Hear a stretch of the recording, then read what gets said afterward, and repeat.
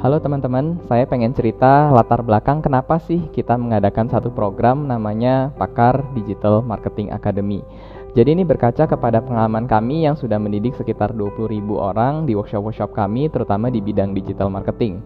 Nah, dari pengalaman kami, itu ternyata setiap bisnis itu butuhnya beda-beda dan digital marketing itu makin lama makin luas. Karena kalau kita ngomong digital marketing itu bisa ada Facebook Instagram Ads, ada Facebook Instagram organik, ada Google Ads, Google Maps, SEO, website, e-commerce, marketplace, dan seterusnya.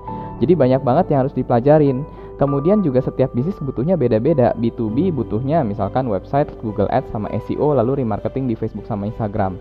Jadi setiap bisnis itu punya kebutuhannya beda-beda. Terus gimana dong? Trainingnya kan pisah-pisah. Google belajar sendiri, Facebook belajar sendiri, website belajar sendiri. Nah, makanya kita pikirkan kenapa nggak sekalian kita bikin satu modul di mana di sini teman-teman bisa belajar semuanya. Jadi bisa belajar semua yang ada di digital marketing dan ini diupdate terus karena digital marketing itu berubah-berubah. Dan di dalamnya juga akan ada modul-modul spesifik tentang masing-masing industri dan ini juga diupdate terus.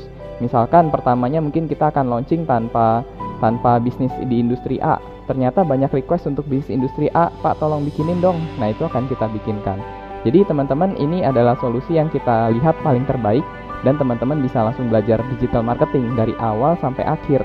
Jadi kalau teman-teman yang pemula pun bisa ngikutin, buat teman-teman yang udah advance pun nggak usah ngikutin yang basic lagi gitu. Jadi uh, itu adalah program yang kita pikirkan ya, namanya Pakar Digital Marketing Academy.